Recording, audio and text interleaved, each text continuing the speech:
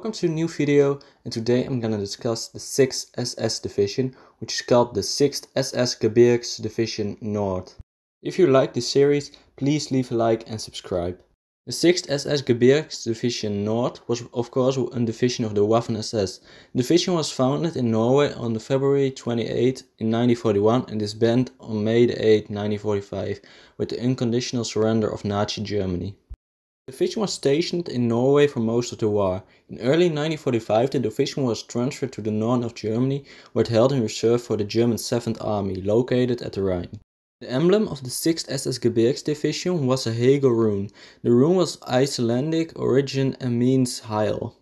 After the war in Norway, in April 1940, Hitler decided to form a new unit from the SS Totenkopfverbanden to guard the border with the Soviet Union.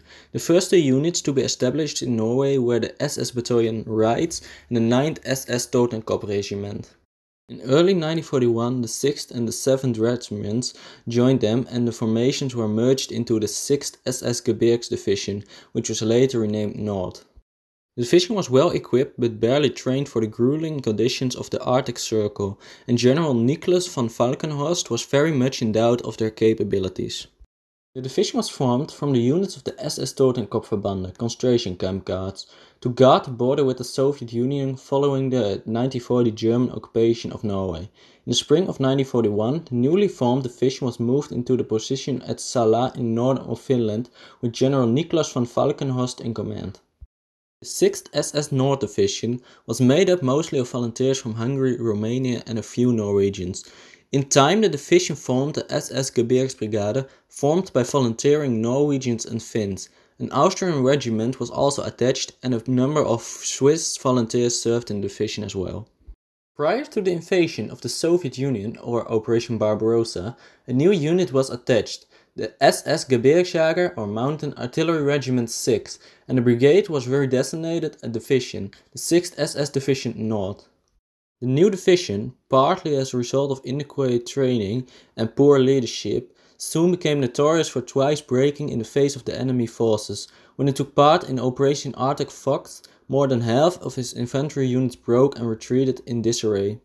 September 1941, the division was attached to the Finnish 3rd Corps and took up defensive position at Kiestinki.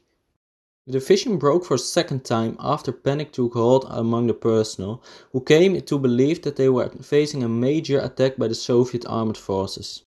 By the end of 1941, it had lost a significant properties of its fighting personnel from both combat and non-combat related causes. Over the winter of 1941 and 1942, it received replacements from the general pool of Waffen-SS recruits. Rebuilt the division was called into action against the Soviet Spring Offensive in 1942 and this time managed to hold its lines. Throughout the rest of 1942 and through 1943 remained on the Kestenga front which was quiet compared to other areas on the Eastern Front. In September 1942, the unit was renamed to the SS Gebirgsdivision North, SS Mountain Division North, and in October 1943 became the 6th SS Gebirgsdivision North.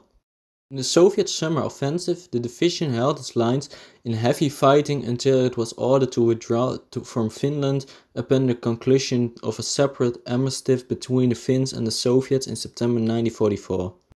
The 6th SS Mountain Division then formed the rear guard for three German corps withdrawing from Finland in Operation Berg and were from September to November 1944 marched almost a thousand miles to Mo i Rana, Norway, where it entrained for the southern end of the country. Norwegian Ski Battalion unit was then left behind in accordance with their contracts. They were merged into the SS und Skijäger Polizeibattalion 506. The rest of the division headed for Germany.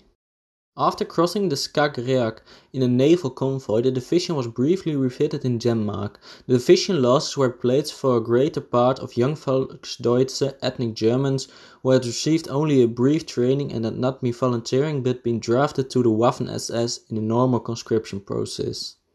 Their fighting value was therefore considerably lower than being the case with former personnel and naturally lower the combat abilities of the entire division. The division was slaughtered for participating in the German offensive in the Ardennes known as the Battle of the Bulge, but did not assemble in Aarhus, Denmark until 20 of December, several days after the attack had already begun. Instead, the division was allotted to Operation Nordwind in the low Vosges mountains of southern France, arriving at the front lines just before New Year's Day. Nord was the largest German division involved in Nordwind and had young and fit personnel compared to regular army outfits.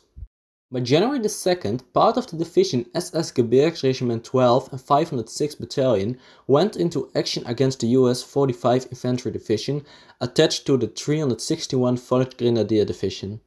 For six days, the SS men fought in and around the town of Wingen, finally being pushed back by the Americans with most of its battle group killed or captured.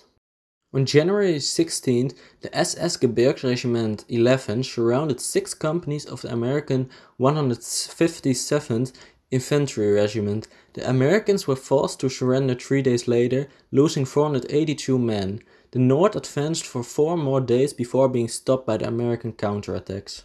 The division remained on the western front after the Nordwind offensive, fighting Americans around Trier and Koblenz on the Mosel River in March, before going into the 7th Army Reserve in April. By this point, the division had lost most of its heavy weapons, officially to fuel shortages, and was grossly under strength. In May 1945, the unit's survivors surrendered to the Americans in Austria. I hope you all enjoyed this video. Please leave a like and subscribe if you did and I hope to see you in the next video.